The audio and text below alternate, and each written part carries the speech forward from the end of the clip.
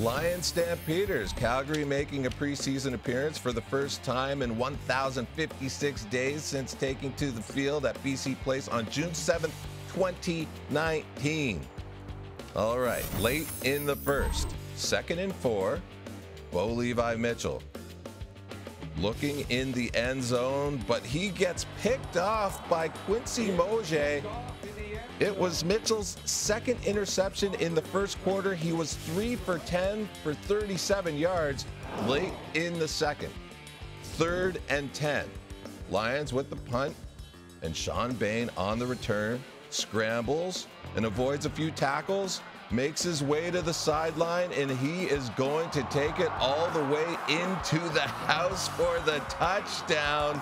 Bain with a 74 yard punt return. The 26 year old wide receiver played four games last season and had 100 yards and a single TD. Stamps run away with it. 41 6, the final.